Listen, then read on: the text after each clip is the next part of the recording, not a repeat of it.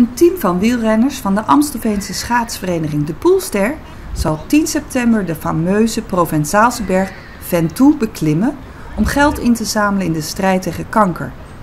Samen met mijn man Tom ga ik uh, de Mont Ventoux uh, opfietsen.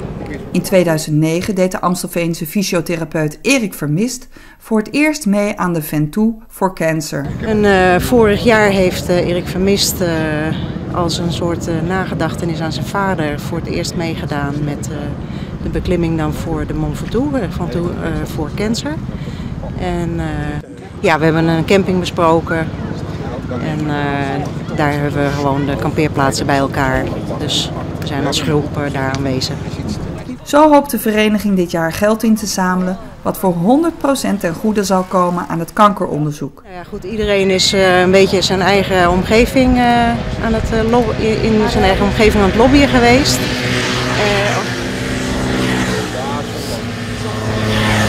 bij werkgevers, en, bij buren, bij familie, vrienden. Ja, en je, ja, je, je bent verbaasd soms wat voor bedragen mensen je geven.